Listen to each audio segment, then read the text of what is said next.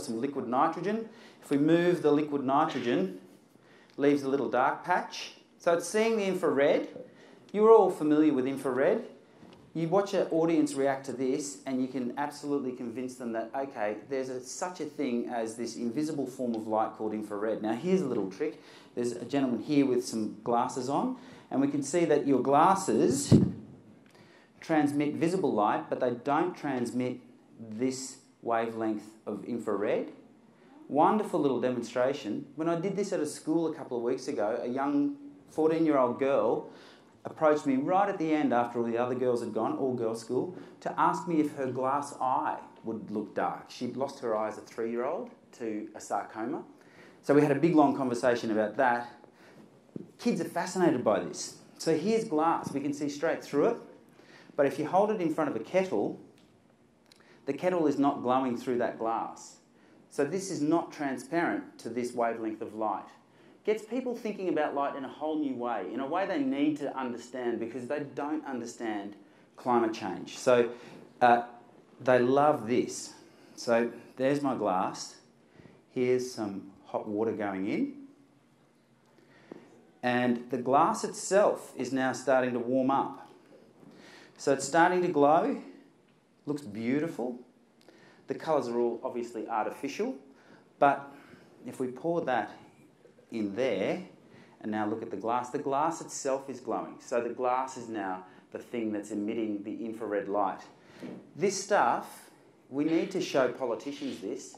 Uh, the Australians in the room know a guy called Glenn Ridges. He used to be the host of Sale of the Century.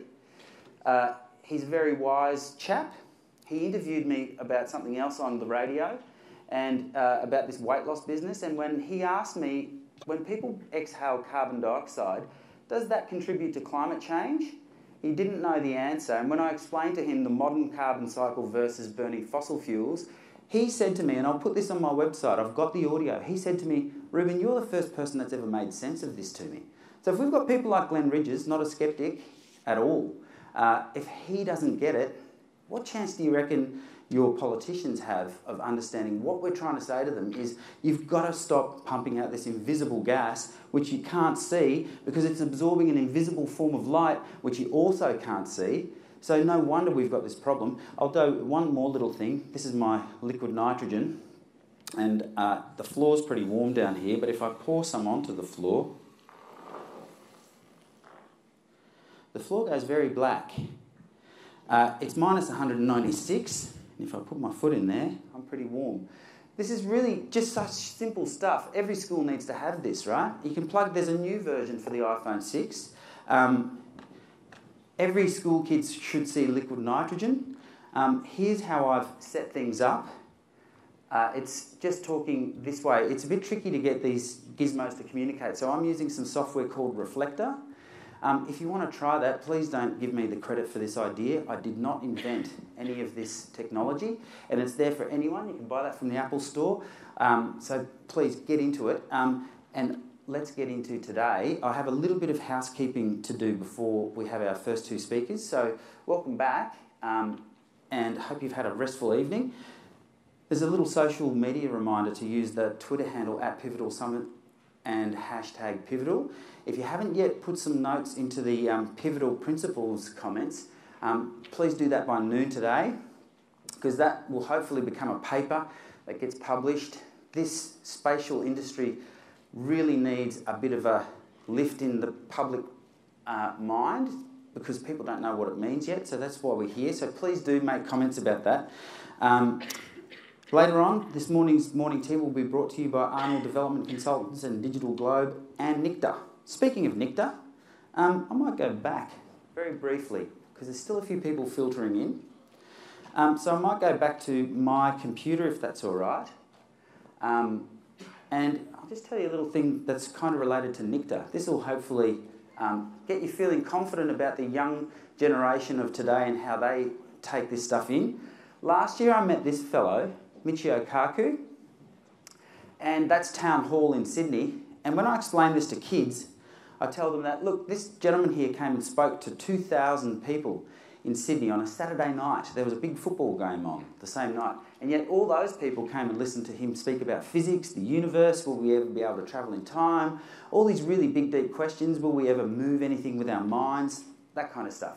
After I took that selfie, and by the way, the word selfie, the first time it ever appeared anywhere, according to the Oxford English Dictionary, was on Dr. Karl's ABC Science Online forum. So I told Michio, look, I need a selfie and I've got a good excuse. I'm from the ABC. There we are. That audience there gave him a standing ovation after that selfie. I said, Would you please thank Michio? And they all stood up and gave him this awesome uh, standing ovation. So when I tell school kids this, I tell them, you know, I met this awesome bloke. He um, works on string theory. The kids hear about the standing ovation. Then I show them this man. And I say to them, Have you ever met this guy or seen this bloke? And no, they haven't seen him. I had never seen a photo of this gentleman either, but we've all seen that logo. This is Terry Percival, who invented Wi Fi along with four other CSIRO scientists. Now, every time I do this, the kids burst into applause. I've had kids give him a standing ovation when he wasn't in the room because they love their Wi Fi. And I just remind them that, look, that made 500 million bucks for Australia. So you've got a gold mine in your head if, you if you're good at maths. Fast Fourier transforms is what gave us Wi Fi. And here's the really sad bit. I just got in a lift this morning with Mal Meninga. Lovely bloke. Um, they're staying at the Rydges. And next week it'll be all about the state of origin. Well, here's the 2012 European Patents Awards, where Terry Percival got the European Patents Awards prize for developing Wi Fi. And here in Australia, how many newspapers reported that? One the Cowra Community News. So if you're worried about the fact that you're not getting the media attention you want for your industry, join the rest of us. It's very hard to get the media to, to pay attention to this. I'll show you one more selfie since there's surveyors in the room.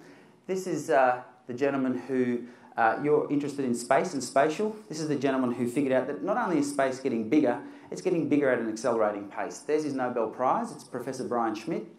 Um, he donated $100,000 of his Nobel Prize money to uh, the Australian Academy of Science to uh, use it towards teaching primary school teachers how to teach science to primary school kids. So there's some good things happening out there, but we are all up against this, and kids love it. It's just that our media doesn't realise how much kids love it. So I'll say one more name, and if you're not from this country, just watch the other people. Who remembers a guy called Julius Sumner Miller? And what was his catch cry? people love him to this day. And, uh, and yet, our current TV producers, I'm always up against them trying to say kids will eat this stuff up. Just put it on the telly.